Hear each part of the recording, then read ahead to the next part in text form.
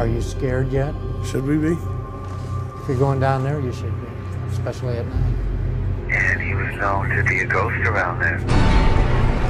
He said, I want you out of here now. It's a handprint. The only thing is his handprint's about this big. It's huge. I see.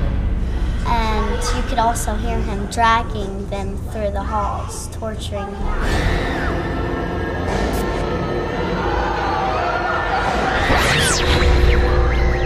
This is a tunnel that the orphans used to go down. Where's the footsteps coming from? It's freezing right beside me. Coming our way, I think. It's coming towards them. Casey's coming closer. Children of the Grave. Uh, it was one of the most horrific moments I, I can think of as an investigator. It was definitely dead.